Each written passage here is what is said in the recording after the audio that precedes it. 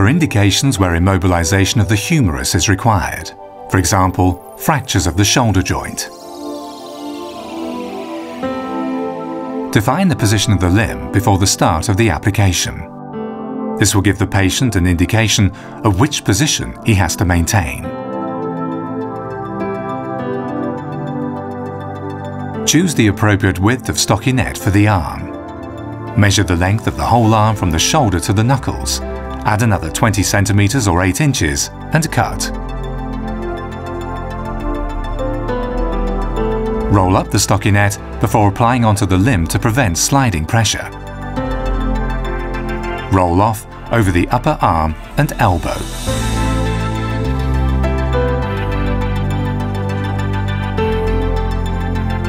Make a cut into the stockinette under the armpit.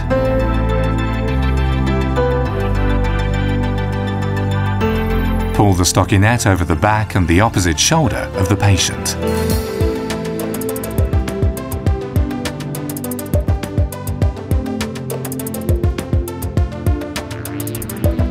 Make another cut and underneath the arm, tie the ends together. This will keep the stockinette in place during the cast application.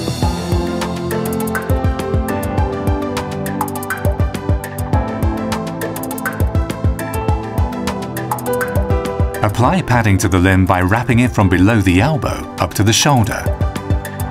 Use extra padding for any bony prominences.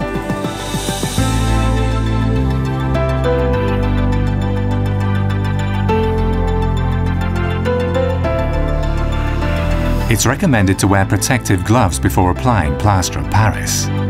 Select the appropriate width of the plaster of Paris bandage. Activate the bandage by dipping into cool water. Remove from water and gently squeeze to drain. Apply cast tape onto the patient's upper arm, starting at the elbow, moving proximally with a 50% overlap.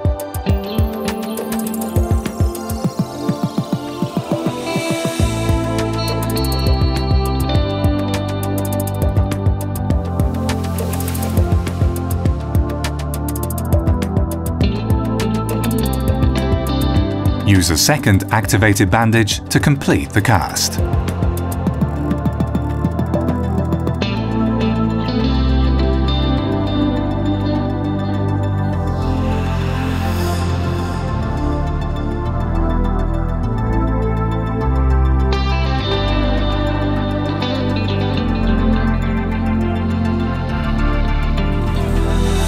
Secure the cast with a bandage, wrapping proximally from the elbow up.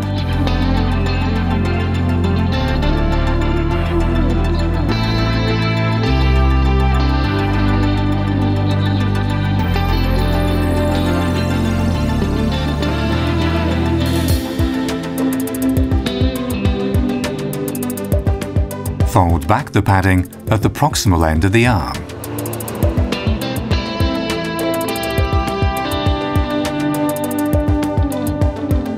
Draw a cutting line at the distal end of the cast and just above the elbow crease.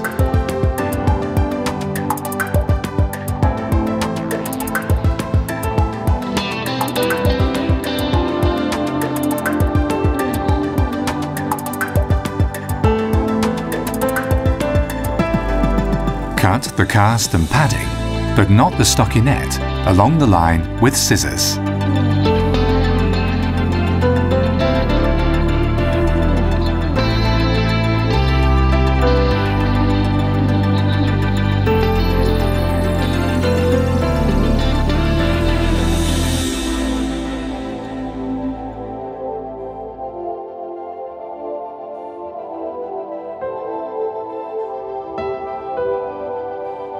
Fold back the distal end of the stockinette.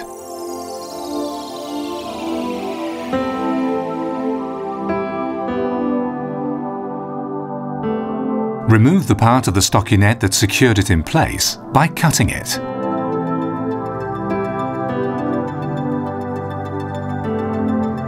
Fold down the arm stockinette at the proximal end and cut off any excess.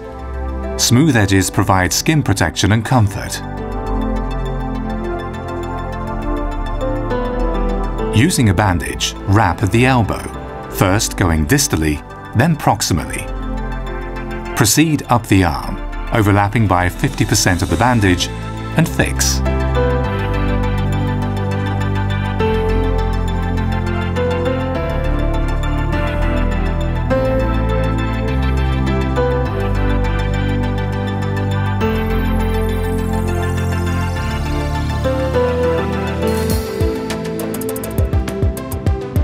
Check the desired range of motion and any points that may cause irritation or pressure. After approximately 3 to 5 minutes, the cast is set and the patient can be released. After 24 hours, the cast is fully set.